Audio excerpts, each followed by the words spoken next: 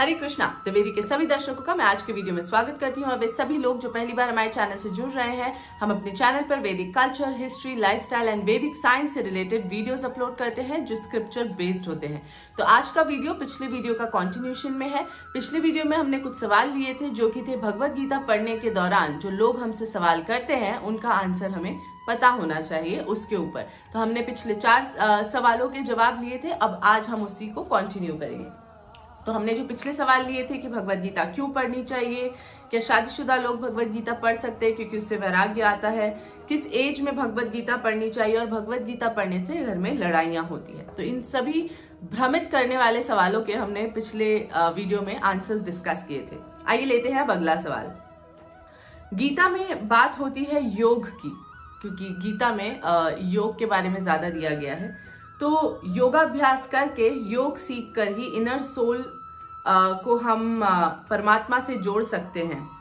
तो इसमें किताबें पढ़ने की या मंदिर जाने की क्या ज़रूरत है? बहुत अच्छा सवाल है। देखिए भगवत गीता के चैप्टर्स में जो योग की बात हुई है, वो है कर्म योग ज्ञान योग और भक्ति योग के बारे में। कर्म योग मतलब जिस भी वर्ण के अनुसार आप कार्य कर रहे हैं, अपने कार्य से पीछे ना हटके उस कार्य को निरंतर करें यह है कर्म योग ज्ञान योग मतलब ग्रंथों से ज्ञान अर्जित करें और सही गलत का भेद करके लाइफ कैसे जीनी है धर्म के मार्ग पर ये सीखें। और भक्ति योग, अंत में हमारे पंच तत्व को परमात्मा में विलीन होना होता है और हमारी आत्मा की शुद्धि के लिए, हमारी आत्मा को गोलोक वृंदावन पहुँचाने के लिए हमें भगवान की भक्ति ही एक ऐसा मार्ग है जो शुद्ध कर सकती है। तो भक्ति होगा क्योंकि आप सभी ने सुना होगा कि रावण को प्रकंड पंडित माना जाता था। क्यों? क्योंकि वो अपना कर्म भी कर रहा था और उसे ज्ञान तो दुनिया में सबसे ज़्यादा था। परंतु उसने क्या कमी छोड़ी? किस योग की कमी छोड़ी?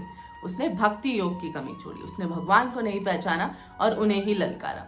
तो इसी कारण से अपने दूषित कर्मों की चलते वो भक्ति नहीं कर पाया और उसने भक्ति नहीं की, इसलिए उसका अंत कैसा हुआ, ये हम सभी को पता है। तो यही उदाहरण देते हुए मैं आपको समझाना चाहूँगी कि जो भगवत गीता है it's not only about physical yoga जो हम सीखते हैं क्लासेस में जाकर और प्राणायाम और मेडिटेशन uh, या फिर आसनों के दौरान करते हैं। इट मीन्स कर्म योगा ज्ञान योगा एंड भक्ति योगा। ऑफ़ कोर्स अष्टांग योगा में प्रैक्टिस uh, भी आती है जो कि योगिक प्रैक्टिस है but that is not only the meaning of yoga in Bhagavad Gita. Let's move to the next question Bhagavad Gita में धर्म का बंटवारा होता है। जातिवाद को बढ़ावा दिया जाता है, जैसे कि ब्राह्मण, वैश्य, क्षत्रिय और शूद्र। तो देखिए, ये बहुत ही ज़्यादा पूछा जाने वाला सवाल है और लोग इसे गलत तरह से परसीव करते हैं। भगवत गीता के चैप्टर नंबर 18.41 से 18.44 तक जब आप भगवत गीता पढ़ेंगे और वो भी किसी प्रमाणिक संप्रदाय की भगवत गीता पढ़ेंगे तो उसमें आपको समझ में आएगा कि ये धर्म का बंटवारा नहीं है, जातिवाद बिल्कुल भी नहीं है। वर्ण सिस्टम जो है, वो होता है इन फोर पिलर्स में, जो है ब्राह्मण, वैश्य, शूद्र और क्षत्रिय। एक ब्राह्मण का बच्चा अपनी ऑक्यूपेशनल क्वालिटीज के अकॉर्डिंग क्षत्रिय हो सकता है। एक क्षत्रिय का बच्चा अपनी ऑक्यूपेशनल क्वालिटीज के अकॉर्डिंग वैश्य या शूद्र हो सकता है। तो आपने किस कुल में जन्म लिया है वो नहीं डिफाइन करता कि आप ब्राह्मण, क्षत्रिय, वैश्य या शूद्र हैं। ये हमारा डिसॉर्टेड वर्जन है जो हमने किताबों भगवत गीता से उठा के अपना इंटरप्रिटेशन लगाकर इन चीज़ों में डिविजन डाल दिया है। तो ये जो फ़ूड डाली है, हम इंसानों ने डाली है, भगवान ने नहीं डाली है। भगवान ने कहा था ये वर्ण सिस्टम है जो कि होता है ऑक्यूपेशन सिस्टम वर्ण सिस्टम का ये तात्पर्य होता है।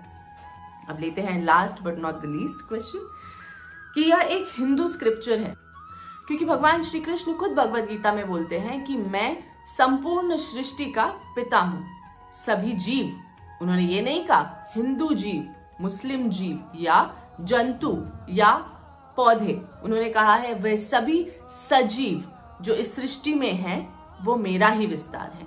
तो आप प्लीज़ इन चीज़ों को ध्यान रखिए। और कोई आपसे इस तरह के सवाल पूछता है तो आप उन्हें प्यार से समझाते हुए ये आंसर्स दे सकते हैं। Thank you for watching Hare Krishna. और अगर इसी वीडियो से रिलेटेड आपके पास कोई भी सवाल है, आप कॉमेंट सेक्शन में लिखकर हमें ज़रूर बताइए। हम ज़रूर उस पर रील्स क्रिएट करेंगे।